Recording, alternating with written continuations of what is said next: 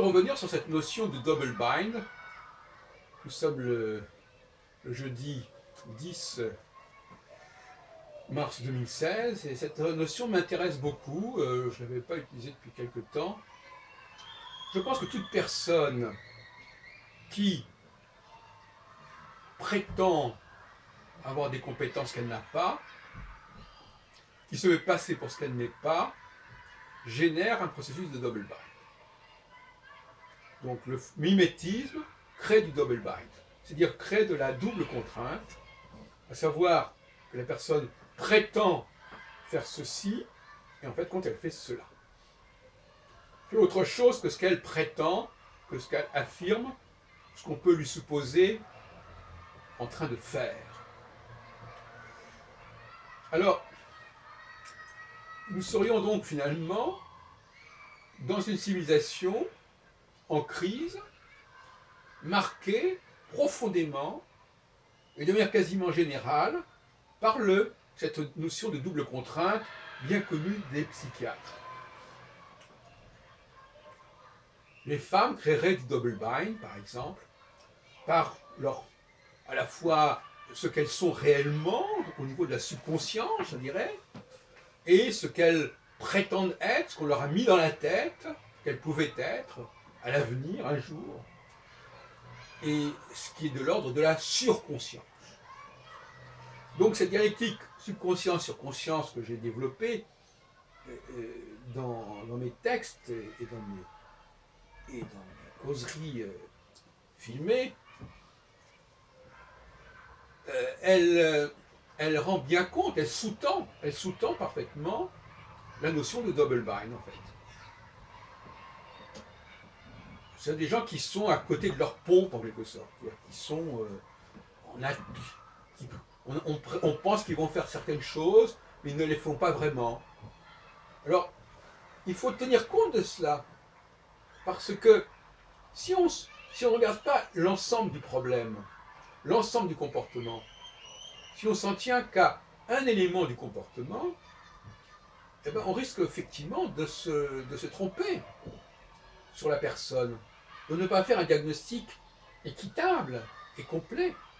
Parce qu'effectivement, elle peut être dans des... C'est un peu l'histoire de Pi- Pierre Dac. Elle peut le faire, elle dit qu'elle peut le faire, elle dit qu'elle veut le faire. Mais est-ce qu'elle le fait réellement? Est-ce qu'elle en a les moyens? Est-ce qu'elle en a physiologiquement, mentalement, intellectuellement les moyens? Et c'est vrai aussi pour un État. Un État qui veut faire quelque chose, mais qui n'en a pas les moyens. On sait très bien ce que ça veut dire aujourd'hui. La contradiction entre le programme, la volonté d'obtenir certains résultats, et les moyens dont on dispose, et les moyens que l'on se donne. On ne se donne pas forcément les moyens pour obtenir ce que l'on prétend vouloir obtenir et pouvoir obtenir.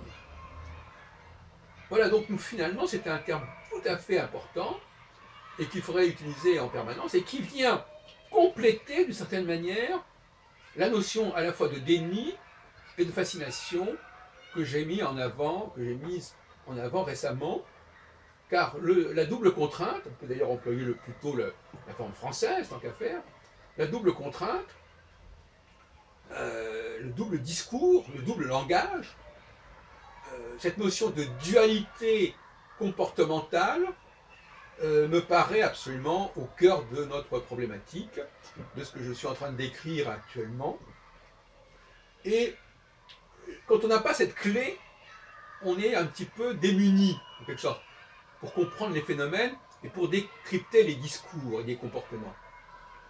Euh, alors, comment les gens vivent cela ou le font vivre aux autres? Parce qu'en fin de compte, ah ben non, actuellement, on est typiquement dans une situation de double contrainte au niveau politique entre le peuple de gauche qui a voté euh, pour un certain programme, le pr- le- l'exécutif qui prétend résoudre certains problèmes et qui emploie des moyens qui, qui à la fois ne se correspondent pas au programme et à la fois ne semblent pas non plus très bien fonctionner, on est là d'une espèce de désarroi euh, qui est fondé sur la double contrainte. Alors maintenant, la double contrainte, elle est peut-être indispensable.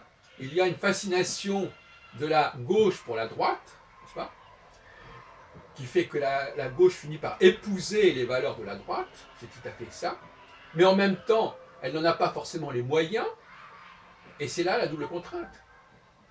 Ce que disait Le Pen euh, il y a quelques années, il disait euh, on préfère l'original à la copie. Pourquoi Si c'est une politique de droite, ne serait-elle pas plutôt menée par un, gouvernement de droite, un parti de droite, qui est soutenu par sa base à droite, alors que là, on a un gouvernement de gauche qui pratique une politique de droite, mais qui est, dont les électeurs sont censés être à gauche et avec lesquels, auxquels il a des comptes à rendre en quelque sorte, euh, ce qui n'est pas du tout, du tout évident et qui crée une politique qui est beaucoup plus euh, ambiguë, puisque précisément elle veut quelque chose, mais en même temps il faut qu'elle se fasse passer, pour ce qu'elle n'est pas vraiment, pour pouvoir satisfaire un certain électorat, et pour pouvoir laisser croire qu'on correspond à un certain programme qu'on a lui donné, alors que ce n'était pas vraiment ce programme-là, on est là dans une sorte de gesticulation qui est tout à fait typique de la double contrainte.